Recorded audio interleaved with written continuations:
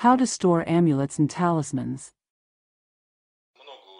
I have a lot of magical artifacts. The masters who made them, and other practitioners, talk about the need to physically separate amulets and talismans so that they don't come into contact with each other. But I keep all of them together. Tell us, do they have any effect on one another? Is it enough just to put them in a plastic bag, for example? It depends on how they were made. If each amulet is connected to its own channel and that channel is protected, then you won't have any troubles. They are isolated from each other as if they were in different rooms, in different spaces. One is in the past, one is in the present, one is in the future. And they are in different places even though they are stored together in physical space.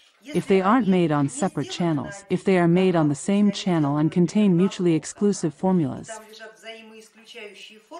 they can affect each other. It all depends on how exactly they were made.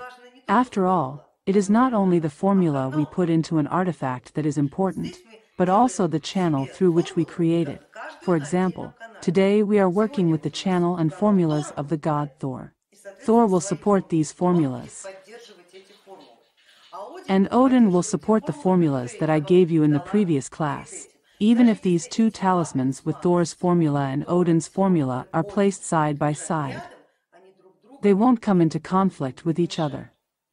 But if you put a Christian cross next to them, it is likely that they will perceive each other as something foreign.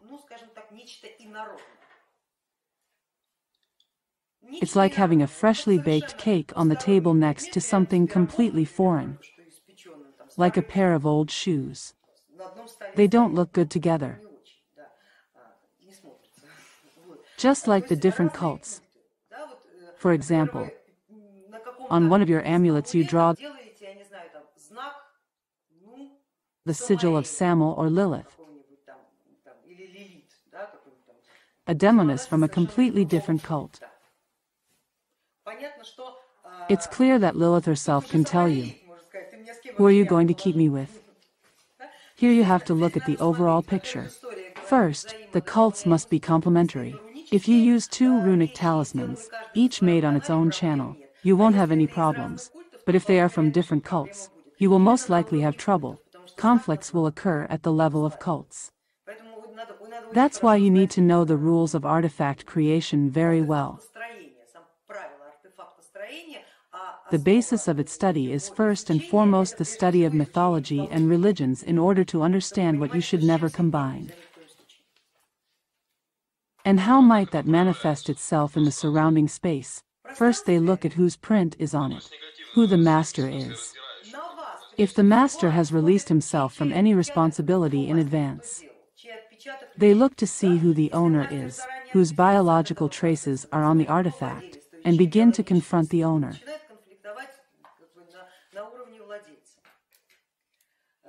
The owner starts getting hit from all sides. This is very evident in the behavior of the cats. If they see conflicting artifacts in the same box, they behave extremely inadequately. They see that something is brewing and avoid the area where something is wrong. I better get out of here. There's something going on that even I can't figure out. Household spirits also react to this. Light bulbs in the house start to explode, pipes start to leak.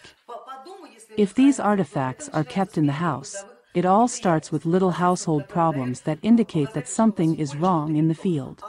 And you, personally, start to feel a lot of frustration, a lot of dissatisfaction with yourself.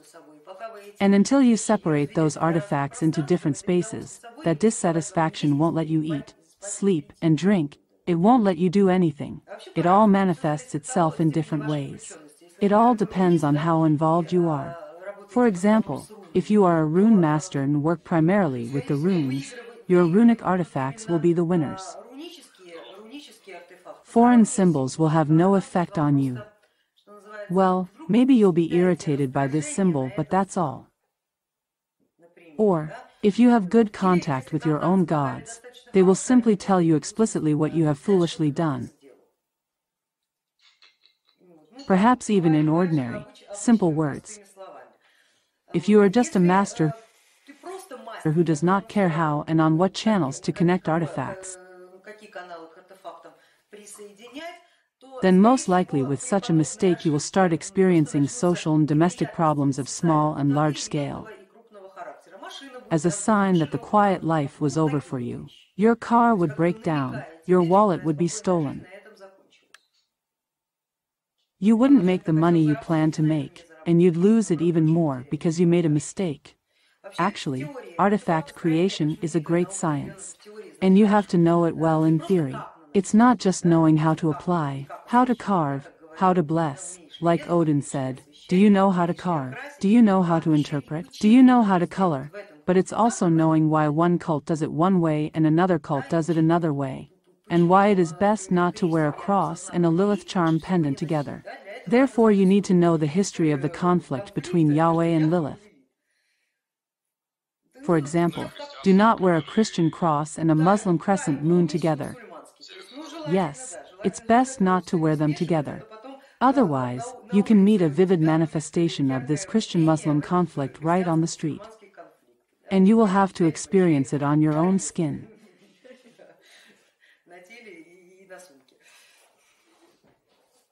It's all bound to manifest itself, since our reality is a mirror of all the processes that take place.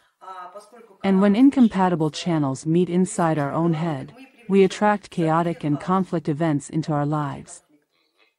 So think twice, especially if you are practicing magic and not just using artifacts. There's always a potential for conflict when you're just using different artifacts and wearing them around your neck or whatever. Anyway, you know, there's a law among practitioners.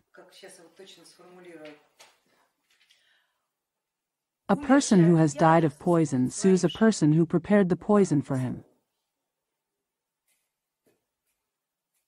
If a person dies from using an improper artifact, then the master would be held responsible. That makes sense.